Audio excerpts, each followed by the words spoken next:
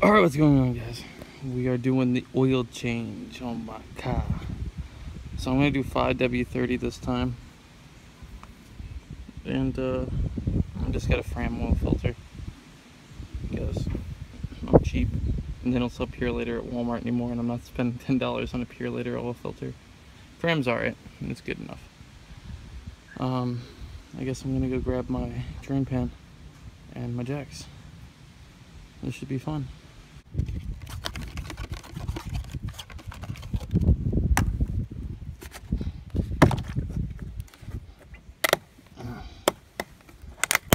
Some money right there.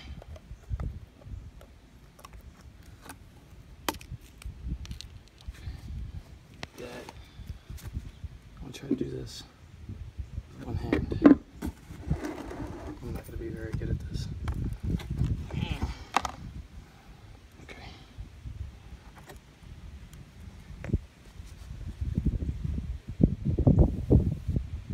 Can't tell where I'm pouring.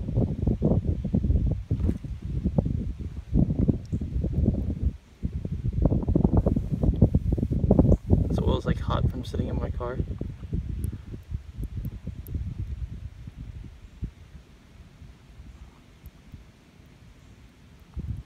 So people ask me why I fill my oil filter up. It's because why would you put an empty oil filter in a car?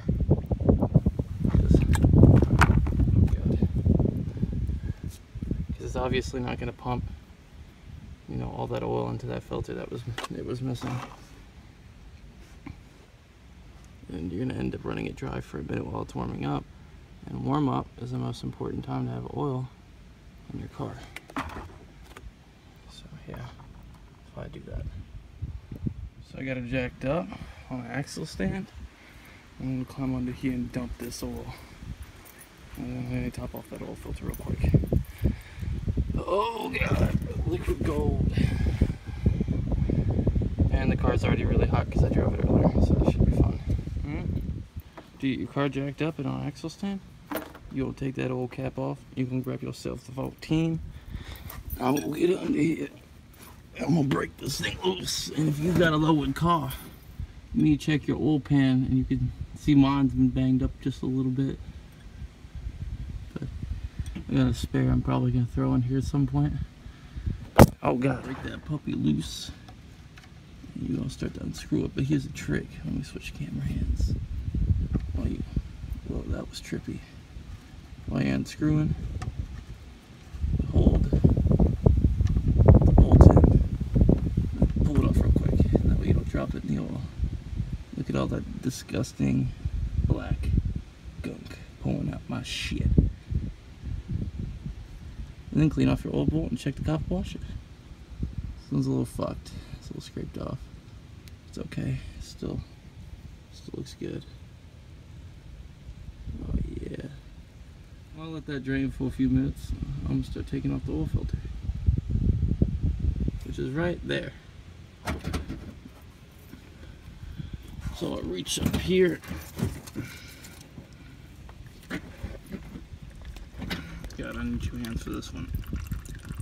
Break that loose. You don't let it drain out into your oil pan until it doesn't pour hot oil all over your hands. And you just unscrew it off. Oh, video. Another trick too. Unscrew it and kind of push on it so it doesn't fall off. When it does finally come off, flip it over so it doesn't dump out. And then dump it in your oil pan. Boom.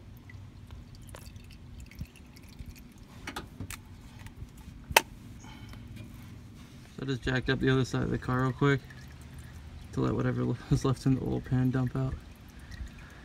Usually I do a flush if I go over. So I go get like another five quarts, dump it in with a new oil filter, run it for like a couple hundred miles, then dump it out and then put the fresh oil in, but I'm just doing an oil change this time. I ain't got the money for all that. Plus if oil is black, it's just doing its job. It's catching dirt and grime. But I do see something I gotta gotta put back in is a missing header bolt. On the downpipe. Everything else looks okay. you guys get to see my AC compressor delete. I just didn't put one on. And I just cut off all the hoses. And yeah, that's how you delete your AC.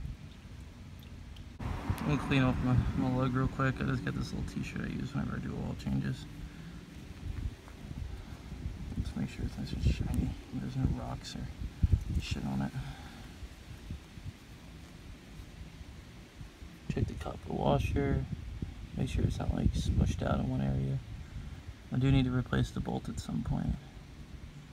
But yeah, I'm about to throw this back on.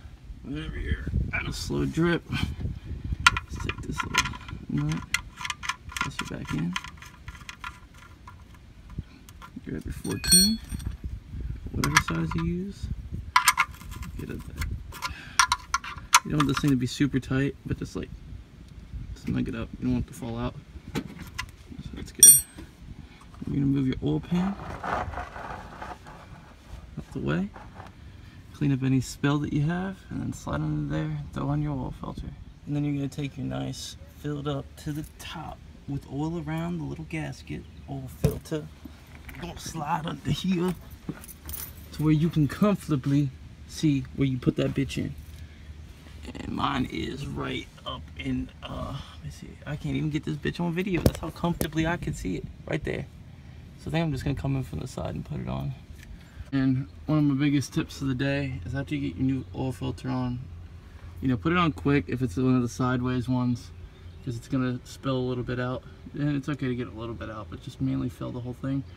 Put your oil bolt on before you put the filter on, and then uh, do not use an oil filter wrench to tighten it. Use an oil filter wrench to remove an oil filter. That should only be hand tight. When I mean hand tight, I mean as hard as your hand can screw this on. That's it. Does not need to be torqued on to 500 fucking foot pounds. Don't need to, if you crush the filter, go get a new one. Like, just put it on by hand. That's all you have to do. I don't know, when I first bought this car, I, it had a crushed oil filter, and that shit, man, I had to hammer a screwdriver through the filter to remove it. It was fucking horrible. I don't know how hard they screwed that shit on. It was fucking stupid.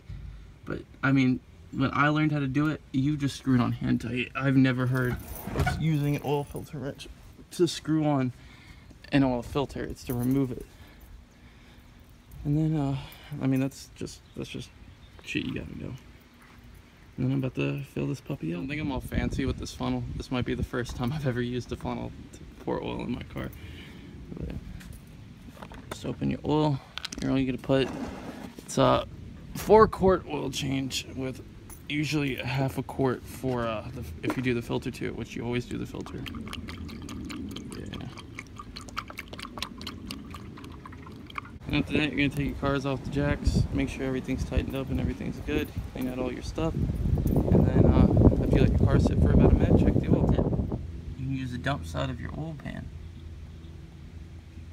to drain out all the oil in the oil filter. Little secrets. That's the good stuff to know. Okay, now drop your old filter in the box and get ready to uh, get rid of that oil. You know, it's good to save one of these old jugs to dump that oil in. You can take it to AutoZone, Napa, pretty much anywhere, and they'll uh, dispose of the oil for you free. Don't dump it in the fucking grass. Unless you like have to and it's the apocalypse, you know, all that good shit. Look at that, you can see my cam. Look at my expensive cams. Look at them. Yeah, I'm gonna check the oil real quick and see how that's looking.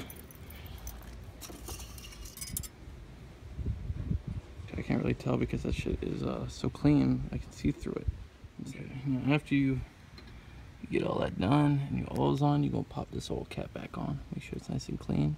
I'm gonna wipe this off real quick on my shirt. Oh yeah. I've had this shirt since I was a fat sixth grader.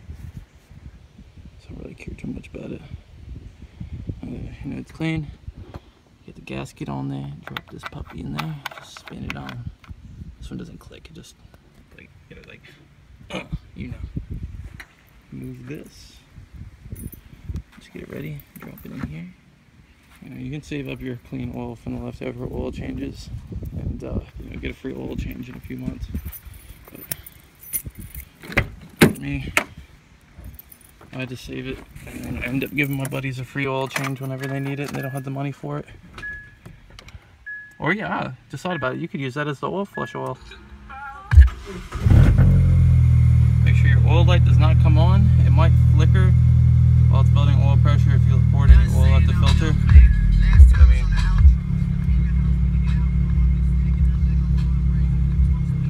usually just let it idle for about a minute or two and cut it off.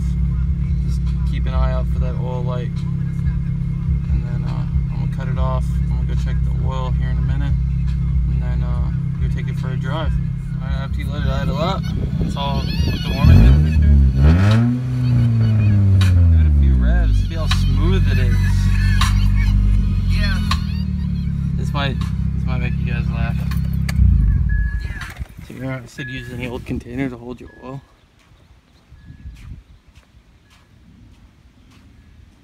Use some Powerade bottles. I'm, I'm, I'm gonna make sure I do not drink on them. But yeah, I guess Powerade bottles work. Like, look how sludgy this shit is. Like, when I poured the other oil in, I went to wipe my finger on it. It was just all, like, pretty much dry. It's like all the oil washed itself off. This shit's, like, sticky.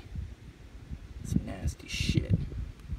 That's when you start to lose viscosity, oil purity, and flow rate. Look how slow it's moving. Look at all that flow rate that you've lost. Change your fucking oil. This is only 3,000 miles too. It's like actually like 3,500. I went over a little bit. But uh, the importance of changing your oil every 3,000 miles. Do not listen to what anybody tells you. This is what's really going on. Look at that shit. That shit is moving so slow. Nasty fucking shit. Yeah, let anybody tell me change your oil every five, ten thousand miles. This is a load of shit. This is fully synthetic oil, Valvoline. It's three thousand miles. I don't care. Just change it every three thousand miles. By the way, if you guys are wondering, it took almost three Powerade jugs for this oil change. You know, them tips, them top tips. By the way, whenever you throw this little oil filter away, just put it in a Walmart bag or something, bag.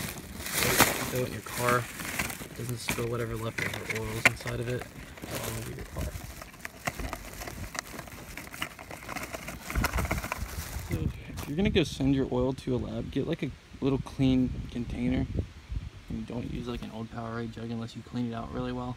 Make sure there's no water or anything in it. You can send it to a lab and get it tested and see if you got like a leaky head gasket or you know, burning too much oil. I mean, it'll even tell you if your oil pump's going out, or if your piston rings are burning up, or anything. It's pretty cool. So, you know, it's, I think it's like 15 bucks. I'm pretty sure Valvoline does it, and you can send it in. And check out the Max Life Valvoline oil. Um, it's just good shit, you know. Yeah, you can send it into a testing, and, I mean, I, I just thought I would tell, tell you guys, you know, if I don't stop stuttering, to use a clean oil pan if you do do that and use clean containers. You know you don't want any Powerade getting in there and uh, messing with it. You know, don't run your oil too crazy over just you know 3,000 miles. It's more than enough. But I guess I'm about to take this thing for a test drive. Uh, let me throw on my radiator fans.